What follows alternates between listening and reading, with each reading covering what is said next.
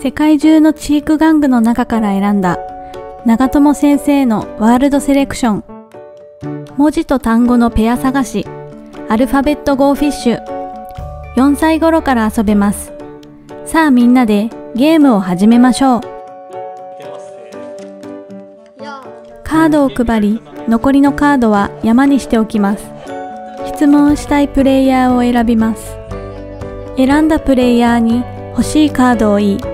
相手のプレイヤーはカードを持っていたら渡します。持っていなければゴーフィッシュと言いましょう。ゴーフィッシュと言われたプレイヤーは山札からカードを1枚引きます。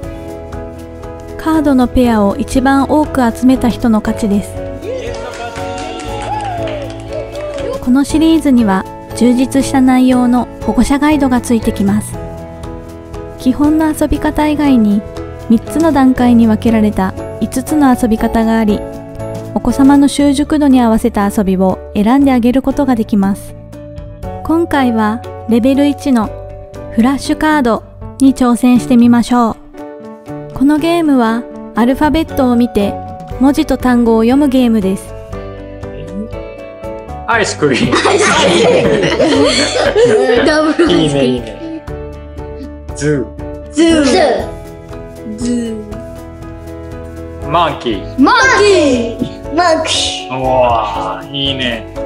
遊びながら文字。英会話。単数形。複数形が学べる。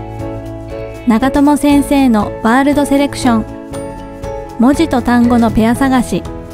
アルファベットゴーフィッシュ。お子様のできるを増やせる。充実のラインナップです